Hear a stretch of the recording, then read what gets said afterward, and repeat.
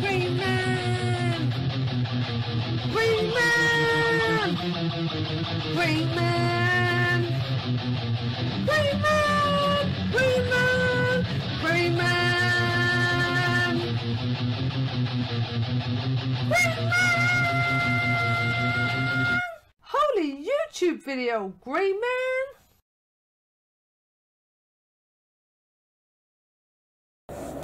Grey Maniacs gather! I've got a couple of packages that came in the post off of uh, Facebook sellers. So let's just go through them. Uh, some exciting ones, I think. We shall see. We shall see what we have. Right, which one is this one? Uh, this is the, possibly the more exciting one because it's got older comic books in it. Got the new GI Combat, the Mercenaries, Soldiers of Fate, Fortune. Sorry, this is GI Combat 283. Try to get without any glare if I can. Nice flags on that one. Someone showed this on Cover Slingers before. I think it might have been, uh, we had a Mercenary week. And uh, I think it might have been Rayman might have shown this one, I can't remember now. Right, we've got another GI Combat. Featuring the Haunted Tank, number 196. If the other Kraut tanks find out they're surrendering to a dead man, we're finished. Okay. Cool stuff. Another GI combat. The Big War book, more than 40 new pages. The Haunted Tank Spearhead for Slaughter, The Mercenaries Soldiers of Fortune, and Kana, Secret Shadow Warrior. You spilled your blood for nothing. There's no invasion force. Wear it. So the GI, the uh, what's it? The haunted tank has got separated from its unit again, by the looks of it, and uh, yeah, that seems to happen quite a lot. Another GI combat. Don't read this one if you're scared of heights. Relax, guys. We're high enough to be out of danger when our tank blows. you may not be in any danger from the explosion, but I fear you may have some trouble with the Nazis above you with their guns pointed at you. So, hmm, if they don't accept your surrender, then you're dead. But yeah. So is that the haunted tank blowing up? Don't worry about it though, because I do know the tank's blown up before, and the ghost goes to the new tank that has happened before. Is it uh, Reb Stewart, his name, or Jeb Stuart? The uh, well, another GI combat, another haunted tank. Only one way to get that Kraut over the top. Get set for a crash landing. They're about to pancake a panzer. I believe that's the uh, the terminology. They have a pancake panzer there. Yeah, Panzer Division pancake. Hmm, interesting cover. We've got tanks on the wheel for uh, cover slinger, so I've got a few to choose from. but this one I hadn't seen before. I'm not sure how much it went on for. Uh, Blitzkrieg. We've got a, uh, a comic called Blitzkrieg. I think it might only be like a 10 parter or so, or not that many parts, but I've got part 5 here. Do not shoot, Hugo. The British are already dead. So what? It is good target practice. Rather... I could, might be able to use this for parachute week. See these... Again, that's coming up on cover slingers. These guys have died, died on the way down, where they got hit by a flak or something, or you know, or got tangled in the trees and then were shot. That's probably what happened. They were got tangled in the trees, and they were shown no mercy. That's quite a chilling. That's something that happened quite a lot. You know, you see it as, as a trope. I'm assuming probably did happen in real life as well back in the day. I'm sure it must have done. Right, a nice old Green Lantern, number 56. I'm fighting blindly because I really am blind. There you go. And straight away, this is how my mind works. Straight away, I've seen this. Right, it's made me think, right, there's a Superboy cover where he's blind, there's a Lois Lane cover where she's gone blind. So I'm straight away thinking, Slinger's Choice, Slinger's Choice, blind, blind theme. And of course I could use Daredevil as well. In fact, it'd be quite cool. There's a Daredevil cover where everyone's blind on the cover. They're all saying, oh, I've gone blind. Right, a nice old Action Comics, number 328. If you dig your Action Comics, check out Dead Man Comics. I think it's just called Dead Man, his channel. Uh, he shows some great comics. He shows some great old Batman, some great old Superman. Gives you some facts about them as well. I'll put his link uh, down below. Check out Dead Man. He does he does good comics. In fact, there's, there's a few new good faces that I'm following more. I like uh, Dead Man comics. I like Tempest from Mars. I like uh, Brain, Bizarre Brain comics. He's cool, and also Erik. Uh, yeah, they're all good. They're four good channels that I recommend at the moment. Go check them out. Uh, Matt likes comics. I like his stuff as well, and he likes comics, which is a bonus. Some people show their comics and you think, you even like comics? No, not really. There's not really anyone I don't, I don't think doing. I'm just, just being silly. Right, oh, here's another interesting one. Battle Classics. So number one, 44 explosive pages. This might be a one-shot. Suicide Mission. It's got Lieutenant Johnny Cloud, Sergeant Rock, Jeb Stuart, and who is the mysterious man in the iron suit?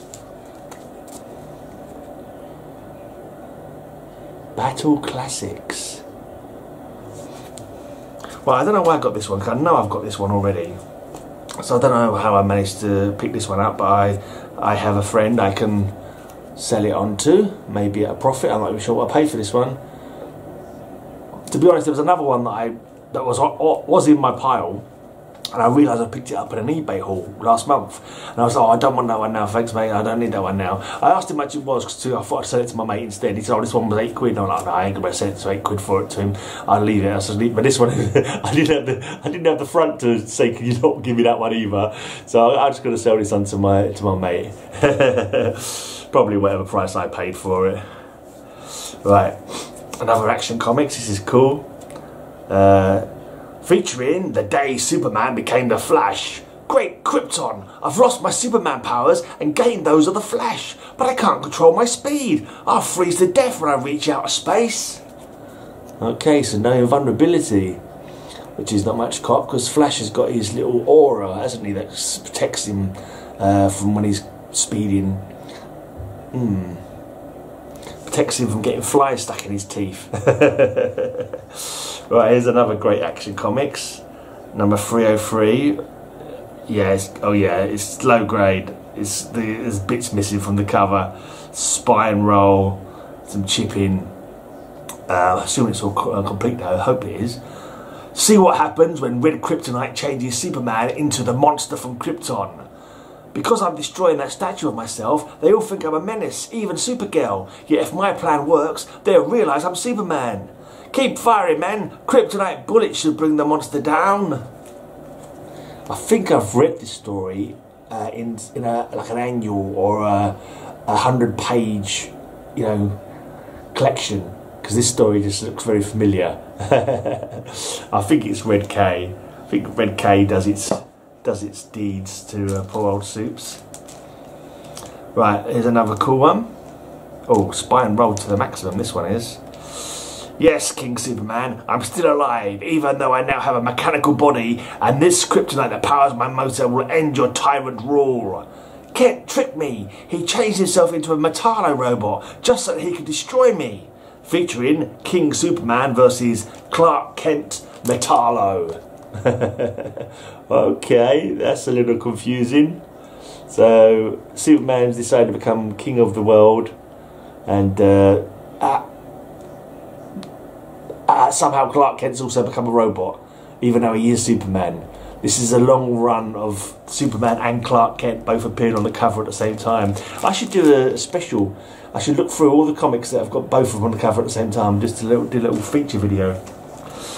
This one looked familiar as well, but I I, my, my, records say that I don't have it. If I do, I'll send oh, this one on to my mate. It might be been I've seen this in in, other, in videos and that. But it's uh, Action 300. Superman becomes the last man on Earth when he is captive of the Red Sun. There's not another human being left on Earth. I'm trapped here, one million years in the future, and I can never escape. Ooh, too much glare. Too much glare. We don't like the glare. We want to see the beautiful covers. So there you go. A trapped Superman. Right, and this chap throws in any coverless ones that uh, he doesn't, you know, he doesn't think he can sell. So I get to read the stories. Here's oh, Superman number 111 with a chunk out of it. And here's Superman 216 cover list. I got a Donald Duck Disney comic here from 1977. Donald Duck, the Duckburg Pet Parade. I don't know if I've ever read any Donald Duck. I got some Daffy. There's a couple more. Oh, there's more. What's this one then? This one you can't even tell. It's. I think this is Walt Disney. It says Walt Disney on there, but there's no like. Yeah, I think this is. There's like a couple of wraps are missing from this one, but you got some. Uh, some Walt Disney stuff. See, if I live closer to uh, another channel, which I, I like a lot, uh, old um, Easy Comic Reader, I could send him these these uh, coverless ones for him to do his collages with. Welcome back, Kotter. I've seen many people show this one. Well, this I vaguely recall there being a TV show. I think it showed over here, but I'm pretty sure I didn't bother watching it. But I think it did maybe get aired over here in the UK. But uh, I guess I'll give that a read at some point. I've got such a big, huge read pile at the moment that it won't be anytime soon. Right, and here's my very first coverless G.I. Joe comic book. G.I. Joe, a real American hero. This is number 43. There you go, so that's uh, plenty of good reading, some real cool comics from my my collection, a few reader copies. So far, I've read all the coverless ones that he's given me, so and there's been some good ones actually. I wish they had the covers, but hmm, they're placeholders, maybe. Uh, we shall see. Right, and this other lot, some of these are much more modern This is a buy I've never sold a book from before, but he had a load of comics up on there, like for a pound each. And he had a whole run of what the rest of what I needed for um, Booster Gold, the Booster Gold uh, volume. And I now only need one more for my Vigilante run, and I got, I think I got a deal on this. He recognised it himself when he went to look it up. I think, I think I seen this go for about fifteen pound on on eBay, and I got it for a pound. But uh, yeah, thanks for that, mate. Well, appreciate that. But uh, I'll do business with him again because he says he's got more to sell. So I'll definitely, especially if they're a quid each. so Vigilante number thirty-six. It's like he's fight. He's probably got some price on it because he's fighting Peacemaker. Peacemaker got big for a while, didn't he? Right, I got a couple from my Legion of Superheroes run. This uh, Legion One Million. So I don't think that was the one I needed. I'm sure it's Legionnaires I asked for, and this is Legion of Superheroes, but uh, might be a double then. Never mind. Right, and I've got some Legionnaires. So number fifty.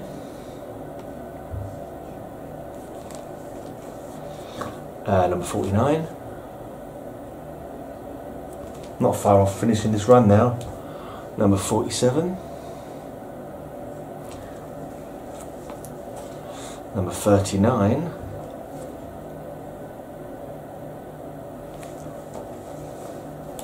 Number 38, Brain Freeze. Right. And the rest are Booster Gold, yes. I bought, I think, 1 to 26 or something off my mate Jason at the Mart a couple of months back. And this guy, literally, I've managed to get the rest of the run. 27, this is when uh, Blue Beetle comes back as a Black Lantern and he's trying to string up his old buddy. And the blue and gold will finally be reunited in death. Yeah.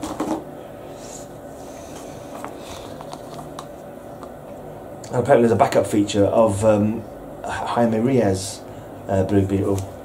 I quite like the uh, Blue Beetle movie. I thought it was quite cool. I, you know, it did the job. You know, bit of fun, bit of a fun superhero yarn with good action, likable characters. I thought.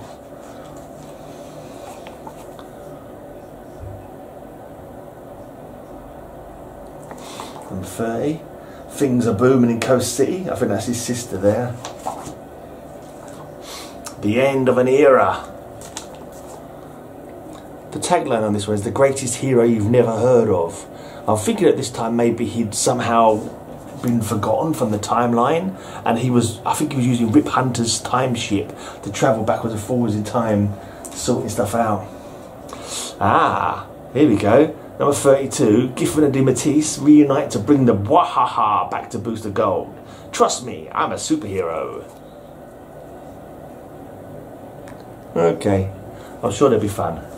Although I prefer a more serious superhero quite a lot of the time. There is room for some, some fun. But uh, this doesn't look like much fun. oh dear, look, so he's got a uh, thumbs up, trust me, I'm a superhero. And the very next one, he's been beaten to crap and he's showing thumbs down.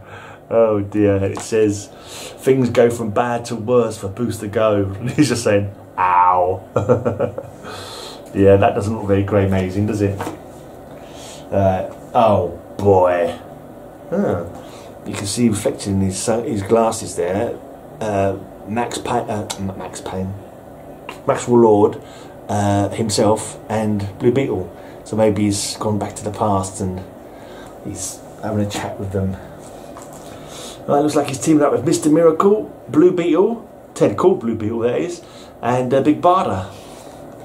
So another time jump where a time when Ted's still alive.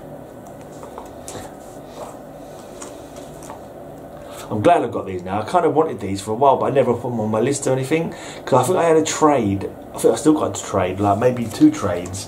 But it's like first, I don't know, ten issues or something, where he does um, meet up with Blue Beetle again uh, in the timeline, and I think Blue Beetle ends up sacrificing himself to uh, secure the timeline's uh, what's the word stability I think. But anyway, I've got the full run now in the, in the single issues as well. So that's cool. What price glory?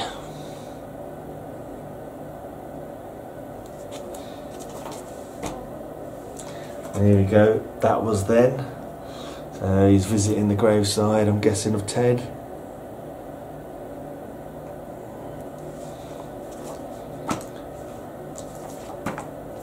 So make sure there's none missing. He showed the picture, there's one, you couldn't see it in the picture. Right, 40.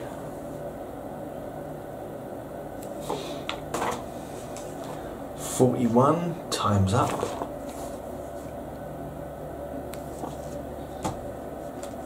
Who is the perforated man?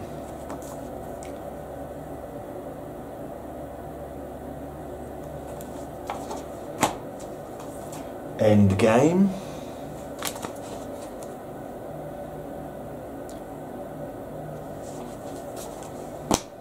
Right, I've got a Flashpoint uh, crossover.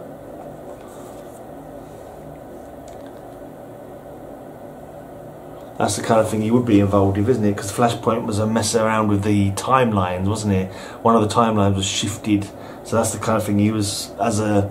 Uh, is it called? Not, were they called Time Lords? Probably not, because that's uh, Doctor Who. Maybe they're called Lords of Time or something. I can't remember. Agent, time agents. I can't remember, but I'm sure that was his job. I think Rip Hunter shows up in some of these as well. I'm trying to collect the Rip Hunter run from the Silver Age, which is a lot harder to get hold of than these ones, and you certainly can't buy them for a quid each. Right, looks like a Doomsday. Right, and the last one, Flashpoint, and he's catching up with Flash. I think he's going to have words with him. What do you think you're doing, messing up the bloody timeline? You're an experienced superhero. You should know better than that, you monkey. right. Okay, that's it then. Me love you all guys. Long time love love. That's definitely not the right that's not definitely not the right one. I don't think I needed that one. Legion one million. I'm sure it was the Legionnaires one million that I put down. But it don't matter. It don't matter. I got a deal on the um, got a very good deal on the Vigilante. Uh, anyway, so that's my comic books in this little lot. Good stuff, huh? I like, I like lots. Anyway, until next time, have a great amazing day, and may all of you sexy beasts have... No, I've messed it up again, haven't I? may all your news be good news. Have a great amazing day. I'll have a great amazing day. Have a great amazing day. I hope you have a great amazing day.